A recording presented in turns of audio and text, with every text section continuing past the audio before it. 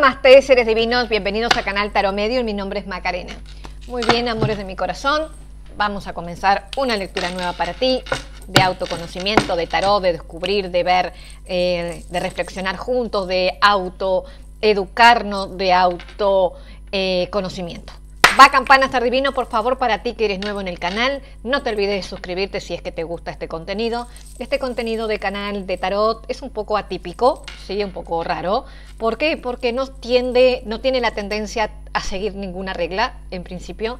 Y tampoco estamos todo el tiempo y todos los días sobre un mismo tema. ¿sí? Aquí se tocan el tema que salga, las preguntas más icónicas y es un canal de auto conocimiento personal. ¿sí? Ahora sí va campana. La campana, por favor, eh, concéntrate. Eh, hoy no lo voy a explicar, pero en otros videos explicaré. Va campana, ser divino, concéntrate. Sí, el yin y el yang de la pulsera de Clara y el sonido de la campana son frecuencias muy bonitas, muy altas, que pueden llegar a cambiar muchas vidas. Y este es el objetivo. Ahora sí, va campana, ser divino, concéntrate.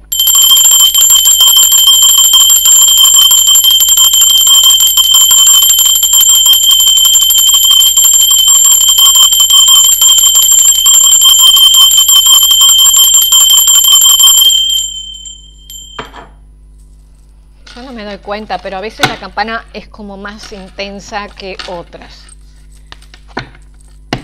Muy bien, va la pregunta. Energía para mi ser divino, por favor. Quiero cuatro. Mente, mente, corazón, pasado, presente.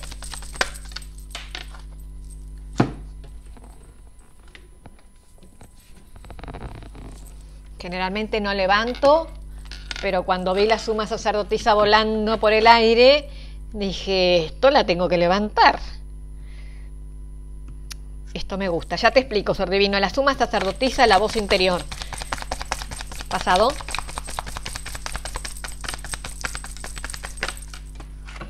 Pero dale, con lo que se me caen todas las cartas.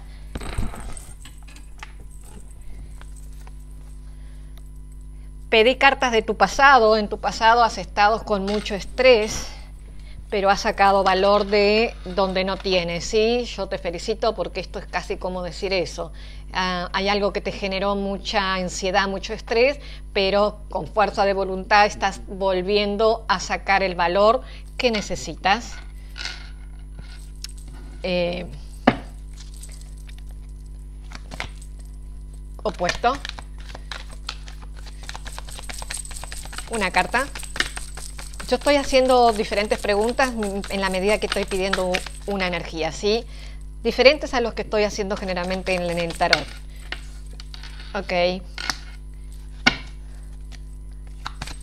Futuro, posible.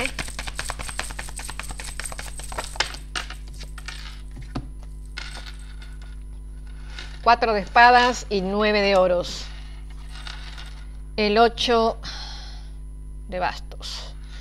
Esta carta, quiero que observes, estás, hay un puntito negro ahí, hay muchas montañas, muchas nubes, el sol apenas se ve a lo lejos, ¿sí? Hay como una gran mm, conflicto, no, no es conflicto. Esto yo pregunté qué era lo, digamos, qué es lo que te está oponiendo en la vida, qué es lo que se te complica, qué es lo que, qué, qué energía se te hace tan difícil. Y justo me salen las montañas, los obstáculos, ¿sí? Entonces, vamos por parte. Tú eres una gran suma sacerdotisa, una persona que sabe, que se está despierta, que tiene entendimiento, que eh, sabe lo que quiere. Si la suma sacerdotisa es una energía de muchísima sabiduría que ya está, como te digo, despierta, tu voz interior está completamente, em, completamente en sintonía con todo lo que sea el más allá, en, la espiritualidad, o despierta en todos los sentidos, ¿sí? no solamente en la espiritualidad, sino también en las leyes de la vida y todo lo demás. Pero hay algo que te eh, que siempre tienes que luchar contra eso, que son quizá, yo voy a preguntar, ya voy a preguntar, quizás sean esas duras batallas que tienes que vivir, ¿sí? Son batallas duras, la veo acá en tu pasado, son batallas duras, son batallas que que, a ver, ninguna persona llega a ser suma sacerdotisa sin pelear batallas, ¿sí?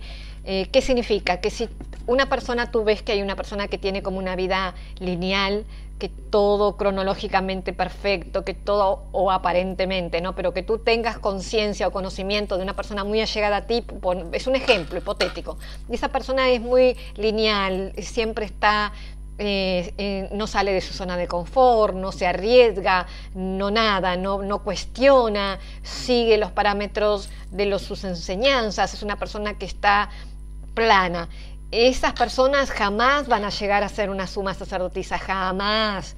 ¿Por qué? Porque son personas conformistas, aceptan lo que tienen y, lo, y no pelean por otras, no pelean batallas, sencillamente no pelean batallas. Para llegar a un nivel de suma sacerdotisa es porque justamente peleas batallas.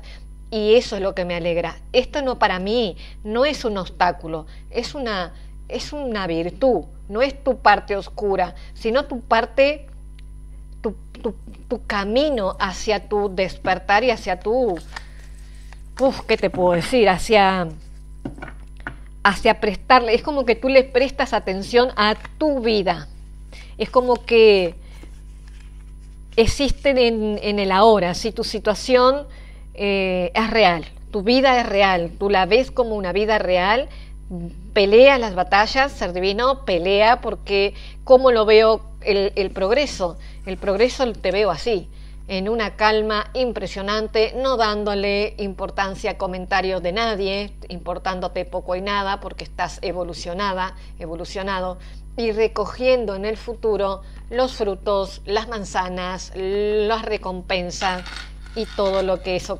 conlleva. Así que te felicito, porque si has llegado hasta aquí, estas lecturas son atemporales. Cuando la espiritualidad considere necesario que te llegue esta información, te lo va a hacer llegar de alguna manera. Eso ya aprendí y ni siquiera me cuestiono esas cosas, ¿sí? Muy bien, ahora vamos a hacer preguntas. Vamos a dejar que el tarot te hable. Entramos espontáneamente. Vamos a ver qué tiene el tarot para hablar. Esta primera parte que te hablé viene a ser que te estoy hablando de tu alma, ¿sí? Eh, esta parte es de tu alma, de tu, de tu esencia. Ahora con el tarot generalmente salen otras personas, sale el tema romántico, sale el tema laboral, pocas veces, pero sale. Mira qué carta, pero mira qué energías tienes. Haz de espadas, expansión de conciencia y la rueda de la fortuna. Sea lo que sea que estás pensando hacer, que es como que tienes una claridad mental o vas a tener una claridad mental tan importante, ser divino, que va a ser, clarifícame, va a ser como un antes y un después en tu vida, ¿sí? Con esa claridad mental. ¿En qué área? Eso depende de la realidad que tú estés viviendo, puede ser en cualquier área, pero voy a preguntar ahora, ¿en qué área hay esa modificación tan imponente? Quiero saber qué llega después de la rueda de la fortuna, por favor. La rueda de la fortuna gira para atrás y para adelante, ¿eh? así que... ¡Wow! Esto sí que no me lo esperaba. Caballero de copas, quiero que observes esa energía tan bonita de una persona con...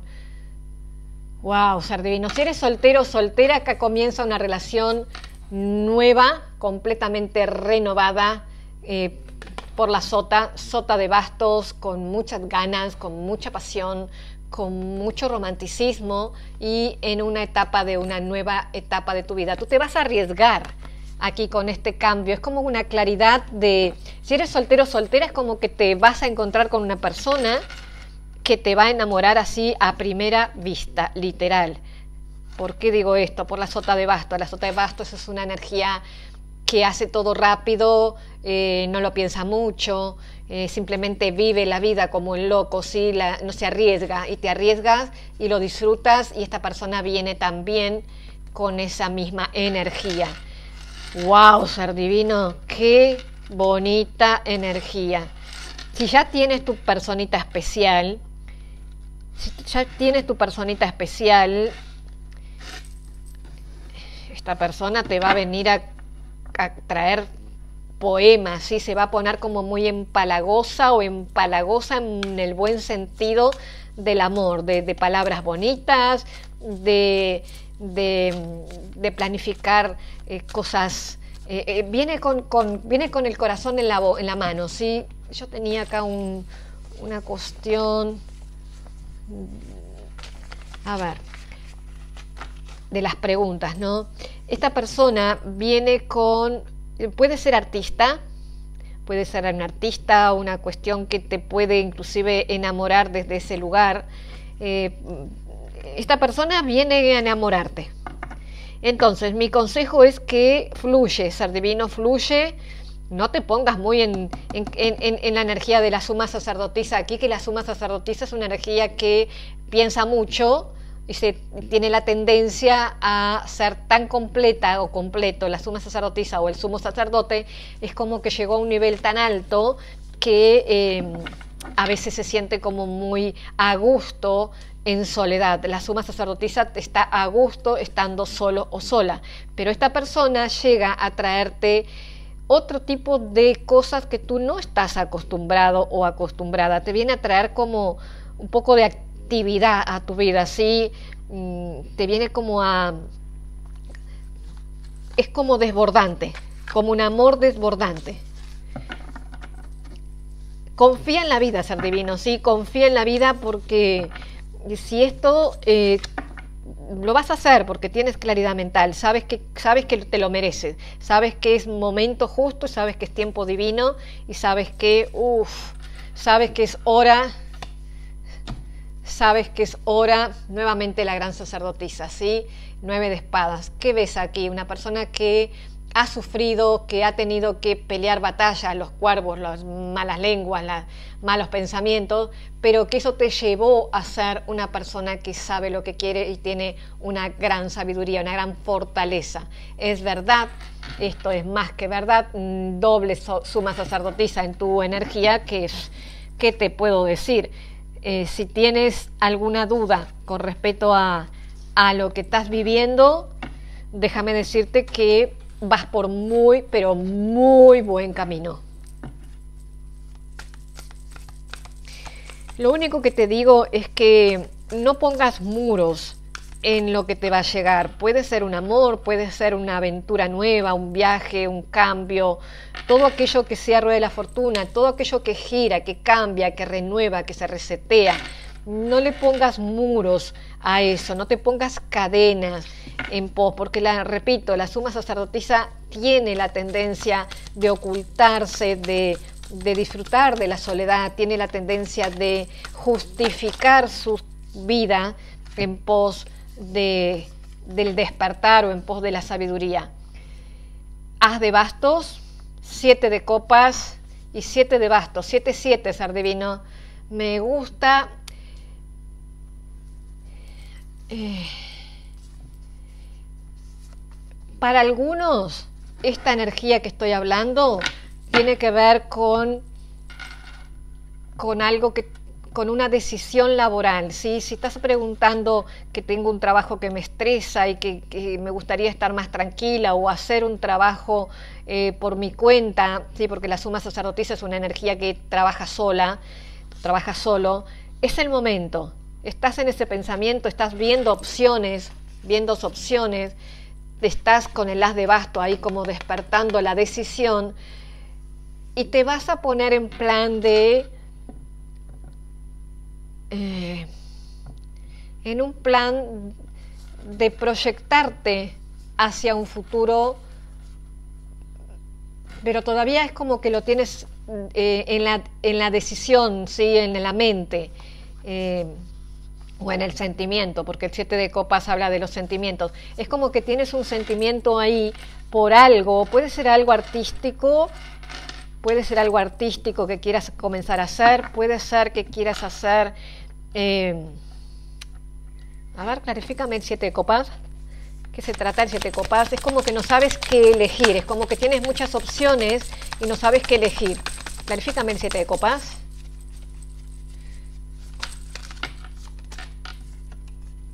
Caballero de bastos. Madre mía, y rey de oros, ¿eh? Bueno, para algunos, para algunos, esto que venimos hablando de, este romance, de esta relación, y de esta actitud de suma sacerdotisa que tienes, eh, para algunos hay más opciones, más de una persona. Caballero de bastos y rey de oros. Ahí, te explico. Es una persona más joven, más activa, más hiperactiva, más fuego, y la otra persona es una persona, como ves, una persona de mayor edad, más tranquilo, más reservado, más preocupado con eh, el día a día de disfrutarlo de una manera tranquila y relajada. Son como dos energías completamente contrapuestas. Y con la suma sacerdotisa, que es tu energía, mm, o sea, que combinaría más al rey de, de oros, ¿sí? Es como, yo veía así una indecisión, ya te lo había dicho, pero tú lo tienes muy claro, ¿eh? sabes, sabes qué es lo que te conviene y sabes qué es lo que te, te toca el corazón. Ahí está tu indecisión en seguir tu corazón o seguir lo que te conviene. Quiero saber qué va a hacer esta persona. Clarifícame el rey de pentáculos. El rey de pentáculos. Bueno, el rey de pentáculos va a ser muy concreto, concreta. Si esta persona te va a hacer la propuesta o te va a llamar o te va a comunicar de alguna manera, pero si tú no aceptas, esta persona se retira o se retira así de una porque no, no piensa eh, repetir la propuesta. Es una persona que hace una vez, le va a costar mucho y se retira. Clarifícame el caballero bastos. Colócala en tu realidad, ¿sí? Si esta puede ser jefes, opciones de trabajo, eh, amigos, amigas, padres. Yo siempre les digo, abran al abanico, simplemente yo les doy las características. Caballero de bastos, por favor, clarifica las características. Ay, este caballero de bastos tiene una energía de emperador y un 10 de basto. Esta persona, esta persona son muy parecidas las personas, por eso que te digo, ¿no? Porque es un rey de oros y un emperador y un rey de basto. Bueno, esta persona tiene la, es muy hiperactiva, muy apasionada por la vida, eh, tiene intención de conquistarte como de lugar, a diferencia del otro, a diferencia del otro que ante el primer obstáculo se retira ante el primer obstáculo eh, ya le encuentra la quinta pata al gato, como digo yo, y se retira. Este no, este viene a, a por todo, como dicen en España, viene a por todo, porque viene trayendo toda su vida, o sea, viene trayendo toda su vida para ofrecértela y viene como un emperador, viene con intención de cosas serias, de ser el papá, la mamá, de tener una familia, de formar un hogar, de sentarse a planificar. El emperador planifica a futuro y como, y como, como enamorado, como enamorado, si yo tuviera que elegir entre un rey y un emperador, obviamente que elegiría el emperador, aunque las dos personas tienen un temperamento y un carácter mm, bastante similar. Pero digamos que el rey de, el rey de Pentáculos es más chispitas, sí tiene como esa cuestión de muy reservado, muy reservada, eh, no da segundas oportunidades, ¿sí? Sin embargo, la otra persona, la otra energía, es una energía que es más de buen humor, una persona que tiene mucha, que hace muchos chistes, le gusta reírse, le gusta divertirse y va por ese camino. Espero haberte dado herramientas para distinguir. No terminé la lectura, ser divino, simplemente voy a juntar este montón de cartas porque se me hicieron muy grandes. Les quiero buscar una pregunta para hacerte porque estoy en una etapa en que tengo un montón de preguntas aquí. ¿Dónde estás? Aquí están. Preguntas. Estoy anotando porque me, se, me, se me olvido. Ser divino me olvido. Tengo estos. A ver. ¿Qué dice una? ¿Qué cosa debe morir para dejar espacio a lo nuevo? ¿Qué ramas debes cortar? ¿Cuál es tu misión en el mundo? Y si tienes clara tu vocación de alma. Son preguntas que me encantaron, que las anoté de un libro que estoy leyendo y dije, bueno, voy a hacer estas preguntas en el canal para que mis seres divinos puedan tener ese autoconocimiento poquito a poquito. Voy a preguntar cuál es tu misión en el mundo que no es lo mismo que la vocación de alma, o sí, a veces sí. ¿Cuál es tu vocación en el mundo? Reina de copas, ser divino, madre querida del cielo, lo más hermoso que he escuchado en estos últimos tiempos. Tu misión de vida es traer amor al mundo, de traer dulce, dulzura, empatía, luz al mundo. Esa es tu misión en el mundo, tu misión de vida. Esta es tu misión darle, traer luz al mundo. Ahora voy a preguntar cuál es tu vocación de alma. ¿Cuál es la vocación de alma, por favor? La vocación de alma es la vocación, la vocación que tú vienes a cumplir. Esta es tu esencia, ¿sí? es tu misión, es tu esencia, es tu, es tu, es tu, es tu luz, vamos a decir así. Tú eres una reina de copas. Busca en Google, eh, googlea qué es una reina de copa, porque yo no puedo pasar mucho tiempo explicándote, pero es la reina, la justicia, ser divino del cielo, tu, mira qué bonito, ¿sí? Tu misión de vida tiene que ver con traer luz al mundo, como te dije, para traer justicia a los cautivos. Qué belleza, ser divino. Traes justicia, traes verdad.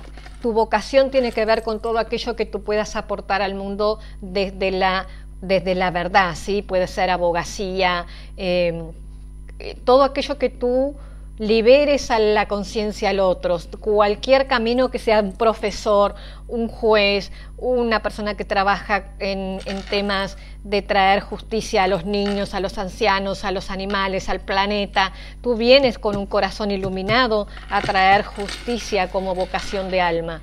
Wow, ser divino, estoy impactada con tu, eh, con tu misión y con tu energía te felicito, me, agrada mucho estar con personas en este canal con esa frecuencia, así que feliz. Ahora voy a preguntar otra pregunta. ¿Dónde reside la magia en tu vida? Interesante, ¿no?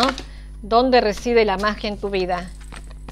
La carta del mundo y la carta de los conflictos. La magia en tu vida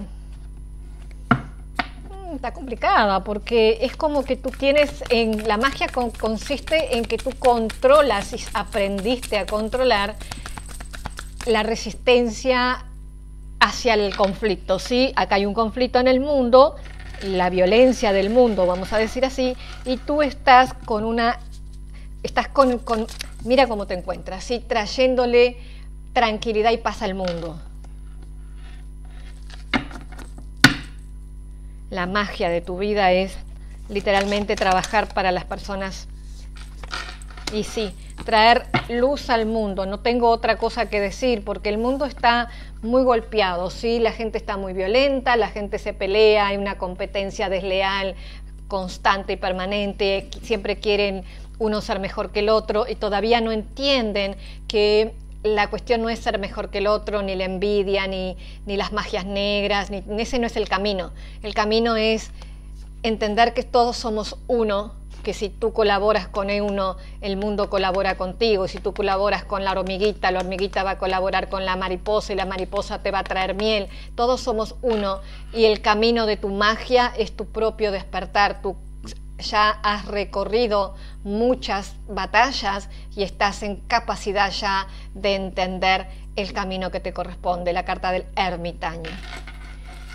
Me encantó este tema de las preguntas, me gustan, espero que me digan si les gusta o no les gusta, a ver si me da tiempo para sí, me da tiempo para un consejo. Vamos a buscar ahora el oráculo de... Em, este oráculo habla de la ley de atracción, es el oráculo de la ley de atracción, que trae muy buenos consejos. Vamos a pedir dos consejos para mi ser divino, por favor. Dos consejos. No te olvides, por favor, de seguirme en Instagram, que estoy sorteando eh, lecturas privadas, una hora conmigo. A ver, cada mañana durante 30 días voy a expresar lo que quiero deliberadamente. Poder de manifestación. Tienes ese poder, ser divino, eres una reina de copas que estás trayéndole iluminación al mundo y luz al mundo, ¿sí? Lo que te dice es que cada mañana expreses lo que tú quieres manifestar. Después la vamos a leer. Son tres, voy a elegir una. Me veo disfrutando de un bienestar absoluto. Mira cómo vas a estar yo ya te siento de esta manera, ¿sí? te siento como en una gran paz. Permito que mi acción sea una acción de alegría. También te veo como una persona súper alegre, súper empática con tu entorno y contigo mismo, que es fundamental.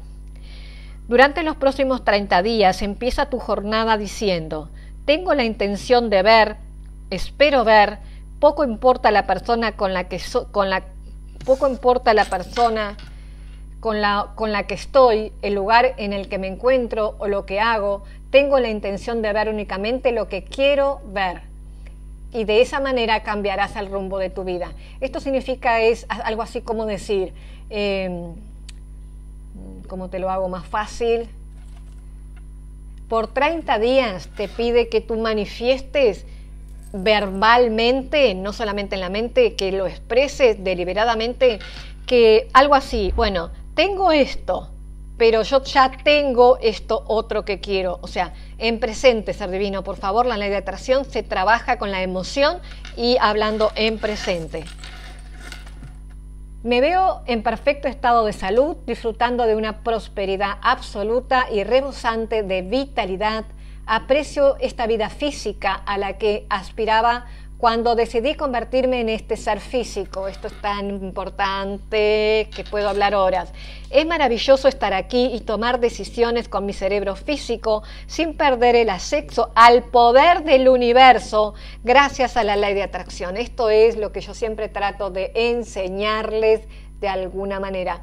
Es una carta que yo no la leí todavía, no es imposible leer todo, sí, voy también leyendo con ustedes. Es una afirmación de que, primero, de que disfrutas de la vida física, disfrutas de la vida, pase lo que pase, tú estás en un perfecto estado de vibración, de disfrute. Y cuando uno está en perfecto estado de disfrute, es cuando yo les digo, agradezcan por lo bueno y por lo malo. De esa manera te llega una prosperidad absoluta y rebosante de vitalidad en cuerpo físico y en tu vida. Aparte dice que aprecias esa vida física que tanto aspirabas llegar a tener. O sea, nosotros cuando nacemos, nosotros tenemos un plan de vida. O sea, no es que venimos, salvo que seas una reencarnación compulsoria, que son esas reencarnaciones obligadas, siempre tú vienes con un plan de vida. Y aquí tú sabes que elegiste un plan de vida conforme a lo que necesitabas, conforme a lo que necesitabas aprender y conforme a esta misión de vida que tienes que es brutal tenías la intención de actuar. La acción forma parte de tu mundo físico, pero no pensabas crear mediante tus actos físicos, sino utilizando tu cuerpo para gozar de acciones creadas por tus pensamientos. Permito que mi acción sea una acción de alegría. Es como decirte que cuando tú sonríes a la vida, tú te, te das alas, es como que crecen alas, crecen alas de mariposa. ¿Por qué? Porque estás gozando, gozando de disfrutar de la vida. ¿Qué más te puedo decir con esto tan bonito que hemos trabajado juntos, tú y yo, y la espiritualidad que me asiste? Ahora sí, namaste con ustedes.